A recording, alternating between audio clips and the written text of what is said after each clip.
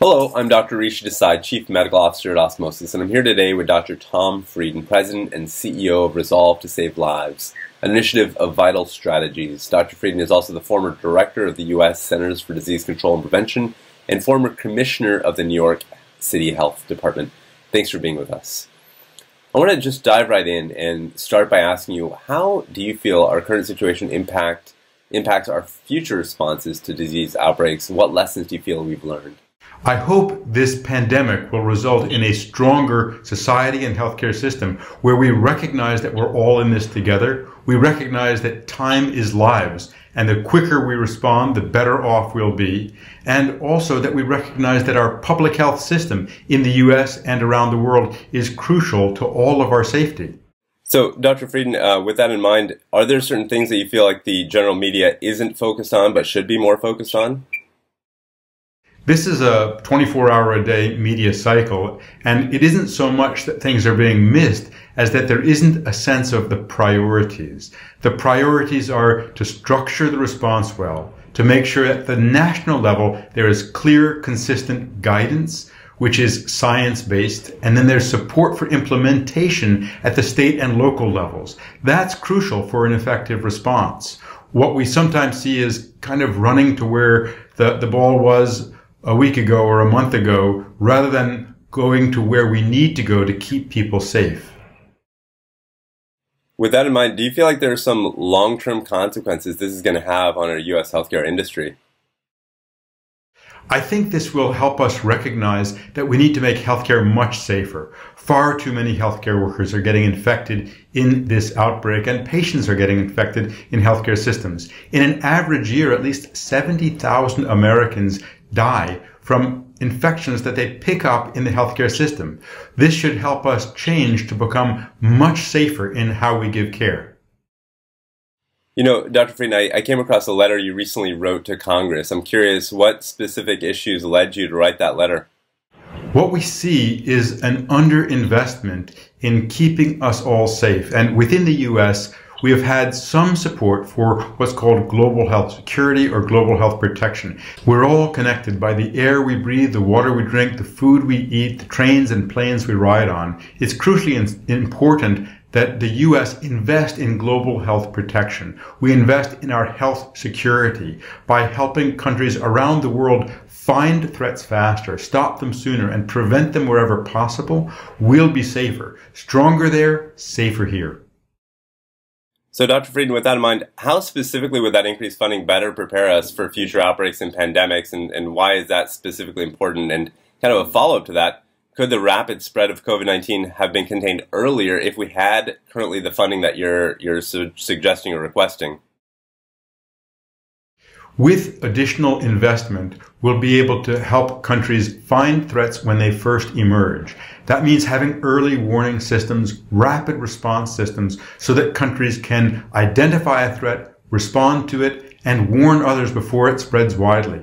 Frankly, if Guinea in West Africa had had core public health services in place in 2013, the Ebola epidemic of 2014 to 2016 may not have happened. It could have taken just a few weeks and a few thousand dollars to stop that cluster. Instead, it became a terrible epidemic that affected three countries and cost tens of billions of dollars globally. Similarly, if China had closed its bird markets, its wet markets, in 2003 after the SARS outbreak, it's possible that this entire pandemic might not have happened. And the next threat is just around the corner, whether it's a tick-borne disease in Asia or an animal-borne disease in Africa the microbial threats are with us. It is inevitable that there will be another threat. What's not inevitable is that we will continue to be so underprepared. Can you offer some insights, Dr. Frieden, into how the CDC has handled outbreaks in the past, and was this one handled differently in your opinion? When there's an emergency, the Centers for Disease Control and Prevention activates its Emergency Operations Center. It marshals a response which calls on many of the 20,000 professionals who work at CDC. It calls on the long-standing relationships that CDC has with all 50 states and with countries all around the world. In this response, as of mid-March, unfortunately, CDC is not having the kind of central role it has had in every other disease outbreak the U.S. has ever faced. That makes me worried. That makes me feel less safe. Fighting this disease without CDC at the table when decisions are being made and at the podium when they're being communicated is like fighting with one hand tied behind your back. What would you say are three to five lessons we've learned from other governments in terms of response uh, to COVID 19? We're learning from countries around the world, both positive and negative. One thing that we're learning is that time is lives.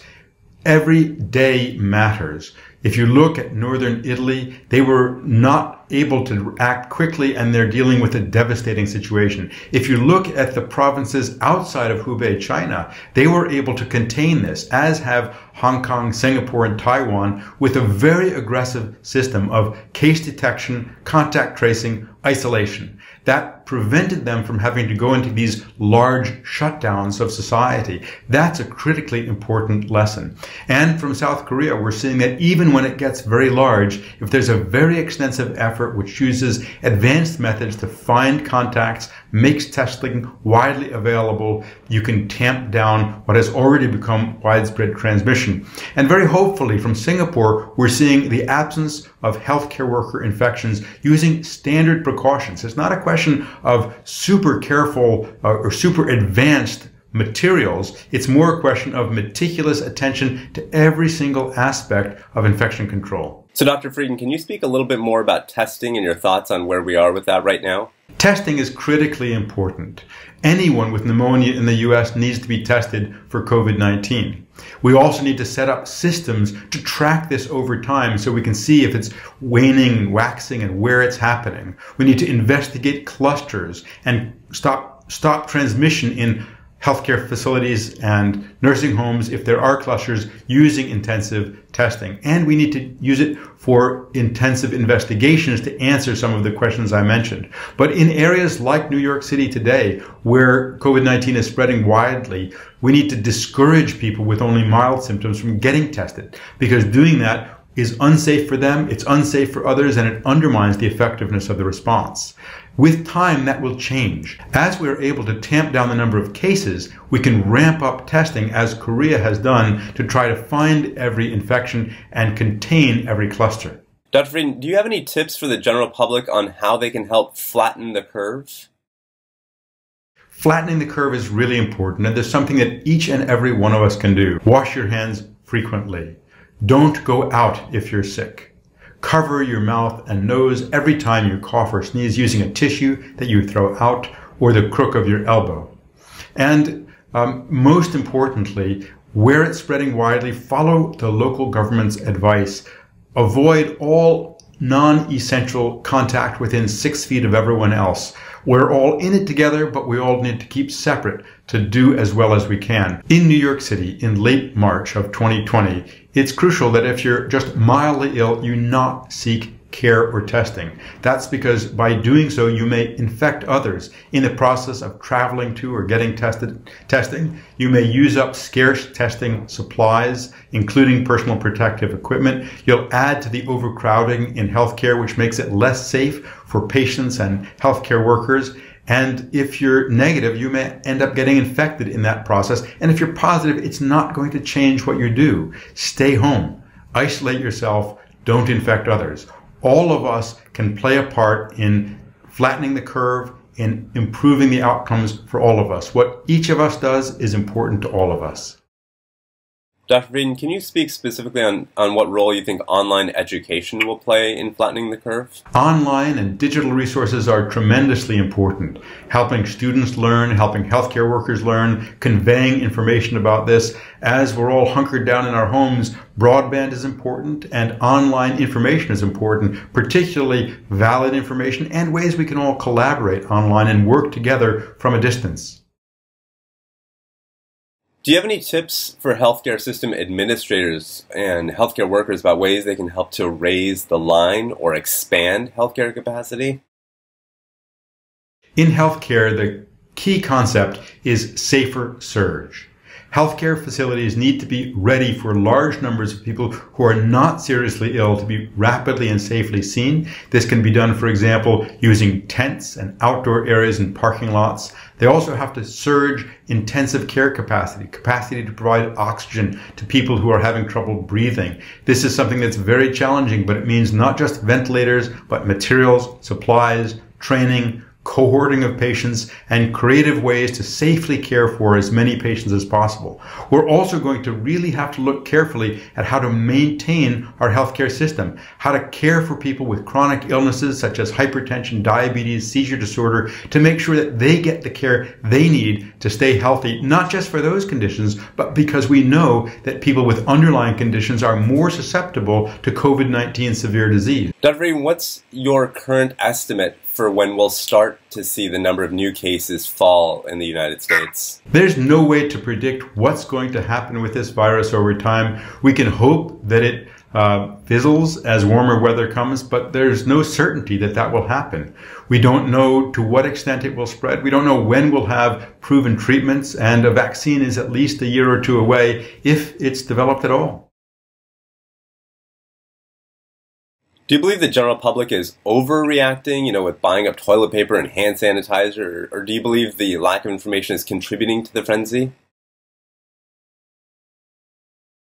There are really important things that everyone can do. For example, not going out if you're sick, minimizing contact with others, washing your hands regularly, coughing uh, into a tissue or the crook of your elbow. But mass buying of things like toilet paper isn't helping. Buy enough for what you need. Easy to say, hard to get people to follow that advice. We're particularly concerned about healthcare supplies like surgical masks. Those need to be preserved for healthcare until there are ample numbers for everyone.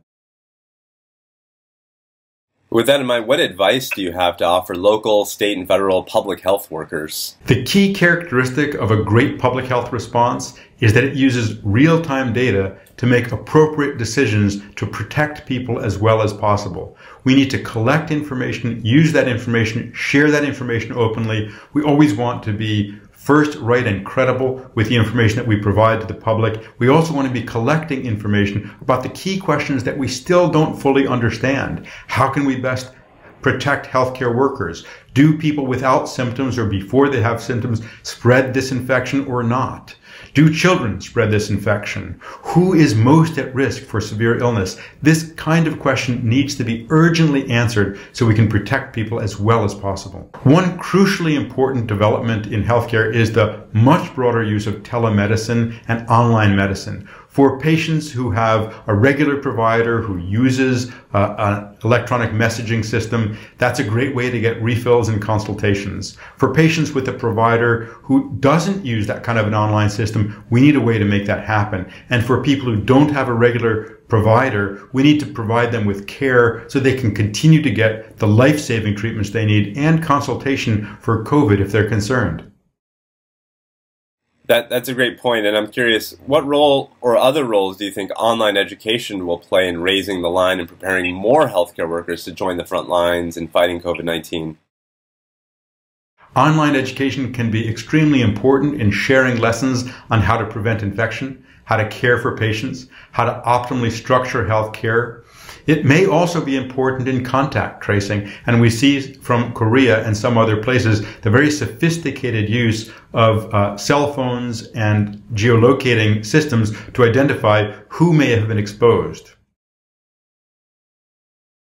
You know, if you could go back and change two to three ways that the CDC and WHO has responded to the spread of COVID 19, given that you said, you know, time equals lives, what would you change?